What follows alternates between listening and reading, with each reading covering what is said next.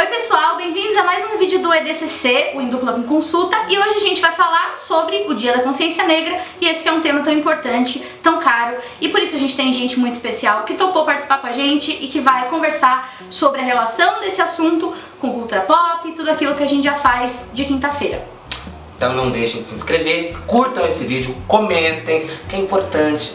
Olha essas pessoas maravilhosas, olha esse sorrisinho, olha que sorrisinho maravilhoso. Clica no sininho para receber em casa, receber no celular, receber no computador, receber no e-mail, receber em tudo. Por favor, faça isso.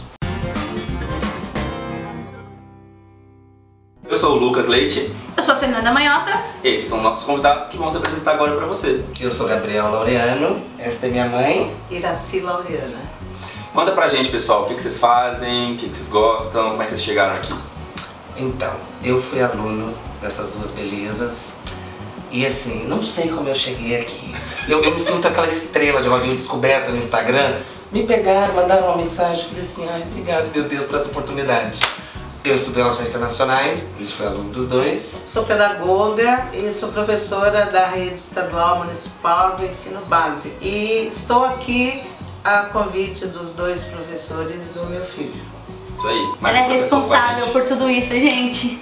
É graças a ela que a gente tem Gabriel no mundo, isso não é pouco. Ela jogou no mundo e falou, vê o que que dá, saiu isso daí. Ela, meu Deus do céu, tem que criar. Eles não falaram, mas eles estavam super engajados na última eleição e estão sempre brincando nos stories com esse tipo de coisa. Bom, uma das questões muito importantes e tem tudo a ver com o que a gente vai falar hoje é a discussão que se faz em relação a esse assunto em particular e a vários outros sobre o lugar de fala. Inclusive, aproveitando a deixa, vale dizer que recentemente uma autora bem conhecida brasileira, Jamila Ribeiro, concorreu ao Prêmio Jabuti, agora algumas semanas atrás, na categoria Humanidades, com um livro que justamente fala sobre isso. Ela é considerada uma ativista, uma pessoa que trabalha diretamente com essa temática, inclusive escreveu o prefácio de um livro importante da Angela Davis e é muito baseado nessa preocupação que ela traz à tona nesse livro que a gente também hoje vai abordar o nosso tema. Gabriel, o que você tem a falar sobre essa questão do lugar de fala? O que você pensa em termos dessa contribuição da Djamila em particular? A Djamila, para além de uma ativista do movimento feminista negro, ela trouxe um esclarecimento moderno do que vem a ser militar para o negro, do que vem a ser ser negro na sociedade moderna, sem aqueles parâmetros acadêmicos pouco claros para a sociedade como um todo. Eu estava inclusive conversando com a minha mãe hoje de manhã a respeito do- da sensação da sociedade do lugar de fala. Porque o que eu falei com você, todos nós temos um lugar de fala. Todos nós podemos opinar para qualquer tema. A questão racial tem essa dor histórica e dificilmente ela é aplicável na sociedade. O ponto de vista do lugar de fala é entender de que ponto você está falando realmente. Quem é você na discussão? Nós temos aqui um homem branco, uma mulher branca tratando dessa temática. Eles podem tratar dessa temática. É claro, a sociedade como um todo tem que interagir com o tema para que a gente consiga galgar algum progresso. Não adianta nós, enquanto negros, lutarmos sozinhos e fecharmos essa cúpula, essa crisálida do mundo negro e o resto da sociedade não contribuir, não trazer a sua demanda. Então, o lugar de fala é saber de onde você está falando. Eles contribuem com um conhecimento acadêmico, um conhecimento da visão de mundo deles, mas o protagonismo, a centralidade do tema deve ser sempre no alvo da discussão, os negros. É uma questão de legitimidade, então, e também uma questão, questão de protagonismo? Sim, é uma questão de legitimidade, porque quando eu permito que um branco me represente em questões negras, eu não sei com quem ele está falando. Ele não passou por aquilo que eu passei, ele não sabe aquilo que eu sei. Que linkando com uma outra questão, o difícil de se entender o que é negro é que precisa ser negro para saber. Não tem como eu trazer para você uma síntese do que é ser negro. Ou seja, nós, por exemplo, a gente nunca vai ter lugar de fala no sentido de saber o que é ser negro ou o que o negro sofreu. Portanto, a gente nunca vai poder de fato falar e expressar o que é isso, porque a gente nunca teve a experiência e nunca vai ter. Por isso que a gente precisa tanto de pessoas que têm esse papel, estão nessa posição, de falar o que elas sentem e o nosso papel é de ter empatia com essas pessoas, de ouvi-las, de entendê-las e dar espaço, e tanto na mídia, quanto na academia, quanto em todos os aspectos, na política principalmente, para que elas tenham representatividade e tenham, portanto, legitimidade. Tô certo?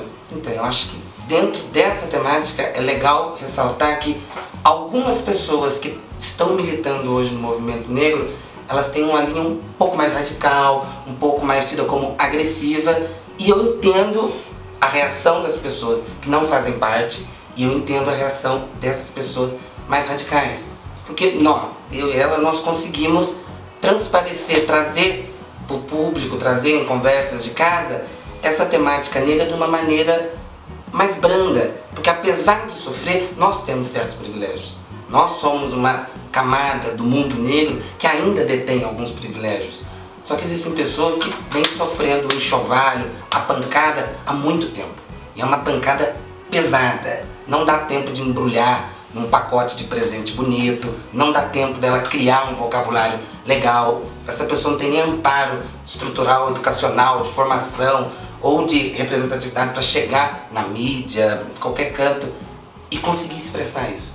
Então o grito, a agressão desmedida da, do êxtase do momento, eu compreendo.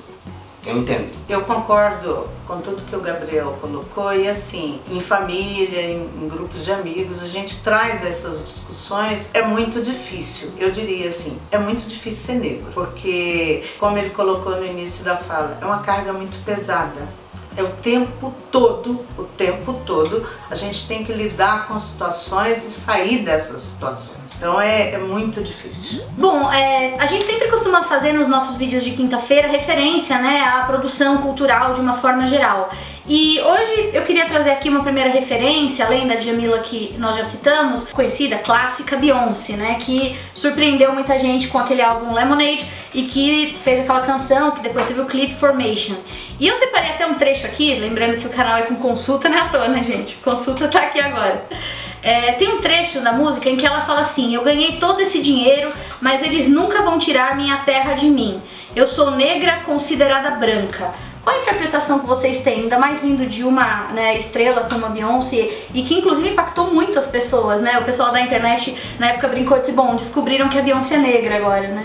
Eu entendo a fala dela no seguinte escopo. O negro, quando ele alcança um sucesso acadêmico, um sucesso mercadológico, sucesso financeiro, que é o caso dela, ele é validado pela sociedade, ele embranquece, ele deixa de ser um negro. As pessoas passam a apresentar: esta é a Iraci, ela tem dinheiro, ela tem formação, ela tem qualquer coisa que tira essa carga de ser simplesmente negro. Então, quando, eles diz, quando ela diz eu tenho dinheiro, essa coisa, é um protesto porque você precisa disso para se afirmar, para deixar de ser só um corpo negro ser só uma pessoa.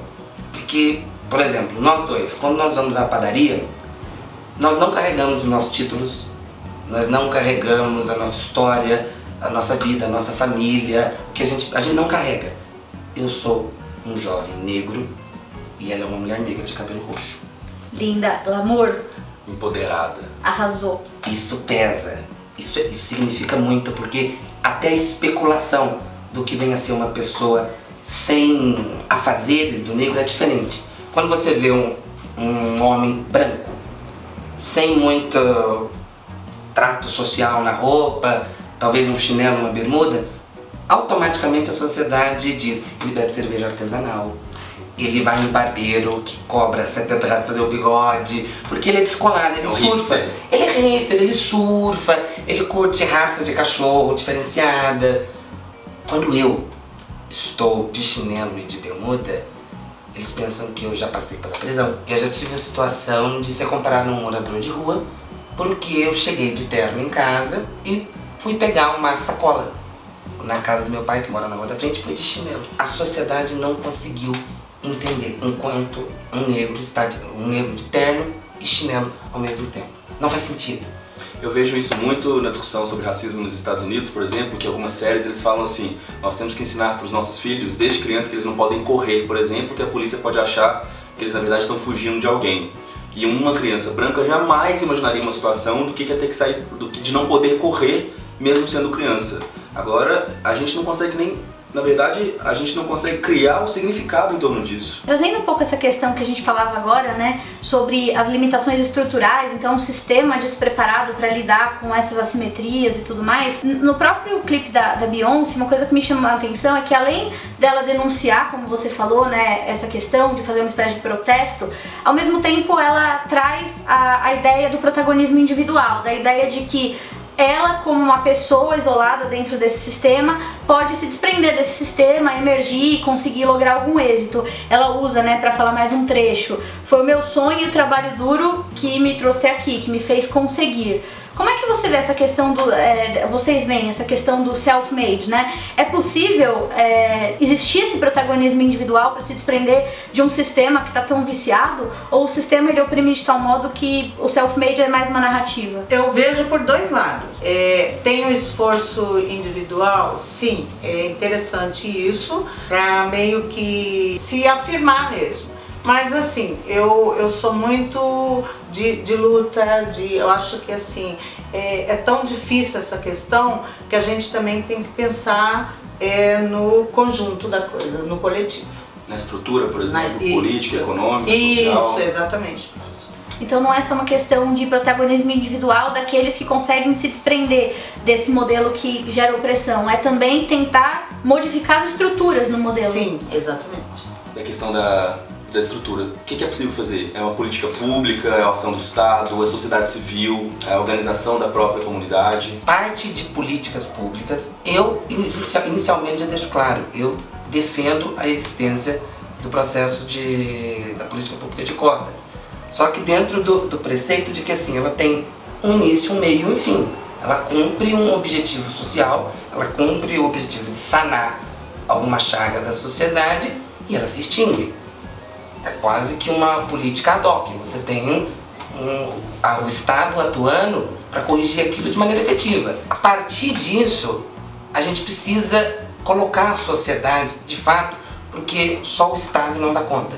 Fica muito abstrato, fica muito marionete. Só o Estado fomentando, só o Estado, ah, não seja racista, ah, deixe um negro trabalhar na sua empresa, não agrida um negro na rua, ele não vai te matar. Fica muito sem sentido. Tem que ser mais orgânico, né? Isso que você Sim. quer dizer, tem que ser uma coisa que, tem que vem partir. da sociedade. Tem que, tem que vir de baixo para cima.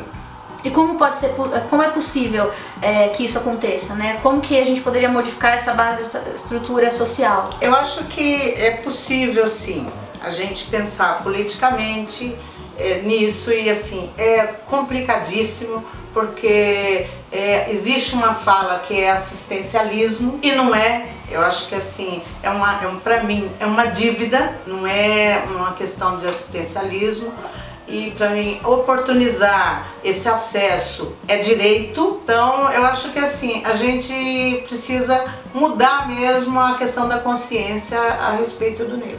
Deixa eu só colocar uma coisa que eu tava lembrando daquele meme da Barbie. E assim, eu tava analisando ele e pensei, o meme é simplesmente a percepção do atual branco privilegiado de que ele é privilegiado. Só que ele não sabe o, que fazer com esse privilégio. Ele percebeu, mas como a culpa não é dele, eu tenho que deixar claro, a culpa não é dos brancos atuais, a, culpa do racismo, da escravidão, porque eu, eu sou abordado por amigos, amigos do meu foro íntimo, que falam, mas você está falando isso, eu não tenho culpa, eu não bato em negros, eu não escravizei ninguém. Não é isso, é, é entender que o branco nasce. A gente tem uma, uma fala um tanto quanto pejorativa, mas ela existe, que é o branco nasce salvo. Isso, isso é, é disseminado. O branco tem que entender que ele nasce salvo. Perfeito. Ele nasce sem entender, sem precisar passar por uma porção de situações, uma porção de, de, de sistemas, de... Quando eu, eu completei que uns 15 anos, nós tivemos essa conversa do você não pode correr, você não pode pular um muro, você não pode andar de chinelo à noite. Você não pode usar touca. Eu nunca usei touca. Porque a associação direta é de marginalidade e criminalidade. Isso tem muito a ver com a série Dear White People, Cara Gente Branca da Netflix nos Estados Unidos que mostra uma comunidade negra muito forte dentro de uma universidade e como eles atuam, se engajam na questão de mostrar, o próprio nome já diz da série, né, cara, gente branca, vocês são privilegiados por isso, por aquilo e por outras questões. Nós não estamos querendo excluir, você, querendo excluir vocês do debate, tirar vocês do escopo político e da nossa própria participação. A questão é que cabe todo mundo. A questão é que nós fomos excluídos durante muito tempo, inclusive pelas leis americanas de segregação racial, pela, pelas leis de direitos civis, que não tinham, não davam inclusive a possibilidade dessas pessoas se emanciparem a partir do processo político eleitoral. Então, tem, acho que tem tudo a ver com isso. A ideia de que, de fato, o Estado precisa atuar para dirimir, para dirimir as, as mazelas sociais, a questão histórica, porque são dois países, inclusive, que tiveram escravidão durante muito tempo, e essa segregação não acabou com o fim da escravidão, é muito bom deixar claro lembrar isso, não é mesmo? E isso faz lembrar também outra, né, outro clássico da cultura pop recente, que é o This is America, né, mais uma denúncia e em que fica bem claro a maneira como, no caso de novo, os Estados Unidos não sabem lidar com essa questão. E no Brasil, né, no Brasil, evidentemente, esse ainda é um desafio. Tem uma frase famosa, célebre até de um dos nossos poetas, que diz: o brasileiro tem preconceito de ter preconceito. Né? Então, o brasileiro foge do preconceito e, e, com isso já não participa do debate. Pelo menos essa é a interpretação que eu tenho da frase. Né? É, parece que nós, simplesmente brasileiros, não queremos discutir quando alguém nos coloca contra a parede e fala: mas eu não faço nada disso, eu não tenho papel nisso. Tem, todos nós temos. Se a gente quer construir uma sociedade igualitária, conjunta, eu imagino que tem que ter participação de todos. O This is America me chamou muita atenção, que a gente percebe justamente uma denúncia da violência policial, uma denúncia das leis de segregação e da incapacidade dos brancos e do Estado de perceber que ele tem um papel, eles todos têm um papel muito grande em entender o seu posicionamento e ajudar a, a comunidade negra também, no sentido de dar voz a ela. Essa é a nossa hipótese, né? a nossa percepção. O que, que vocês acham disso? Então, essa questão do This is America, quando eu comecei, eu não eu tinha contato com a música e não com o clipe. Quando você mencionou, eu fui assistir. Me chocou muito, porque é muito atual, é muito real. Você vê isso nas sociedades americanas, você vê aqui, você vê na sociedade brasileira, mas assim, sem tirar nem colocar eu achei interessante a condução da, da música, me levou a entender uma tranquilidade, me levou a, de repente ele vem com o choque de realidade. Não durma, preste atenção, caia na real. Essa é a América. E é exatamente assim que funciona pro negro na sociedade. Quando a gente começa a ficar tranquilo, tipo, não, nada vai acontecer. A sociedade vem e lembra que a gente é negro. A sociedade deixa claro que não existe igualdade entre a gente. Não vai existir.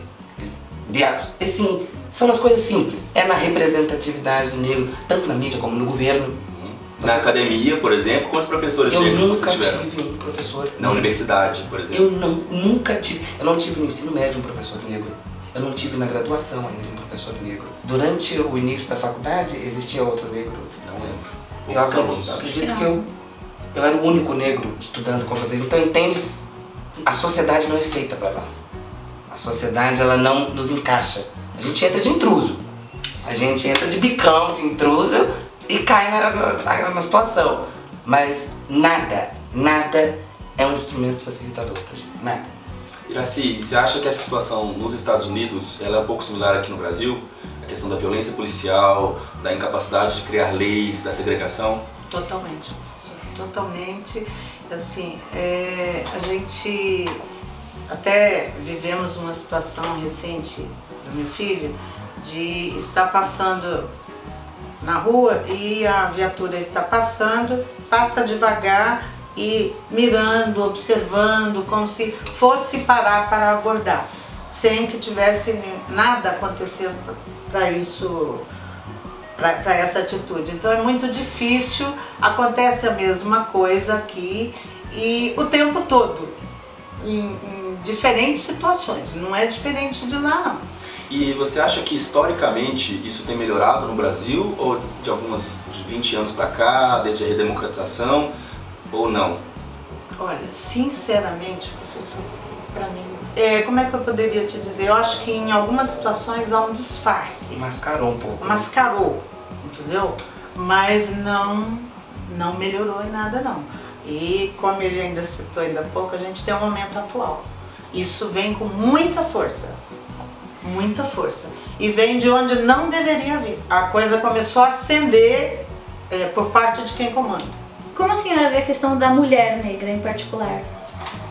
É talvez a, a pior. É muito homicídio, é muita exclusão, em, em, diferentes situações na sociedade é lidar o tempo todo com preconceito, racismo, exclusão. Se vocês tivessem que deixar um recado para todo mundo que está acompanhando a gente aqui no EDCC, para esse pessoal que em geral é jovem, que em geral está engajado, está afim de saber mais sobre as coisas, que recado vocês dariam? Como vocês se comunicariam com o nosso, nosso é, público aqui que se inscreveu, que segue o nosso canal?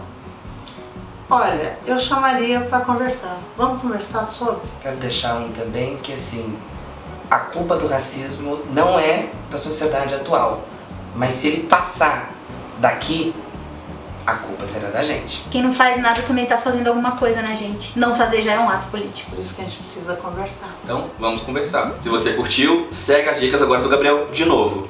Eu de novo? Você de novo. Tudo bom, galerinha? Olha eu aqui de novo. Não esqueçam de deixar o seu like, se inscrever no canal, ativar o sininho aqui embaixo e deixar um comentário caprichado. Isso aí, se você quer saber mais sobre alguma coisa ou quer se engajar nessa conversa que a gente está propondo, hashtag EDCC Responde e a gente se vê na semana que vem com mais dicas, com mais assuntos, com mais gente. Muito obrigada aos nossos convidados, foi um prazer e uma honra Obrigado, ter eu, aqui. imagina. Nós é que agradecemos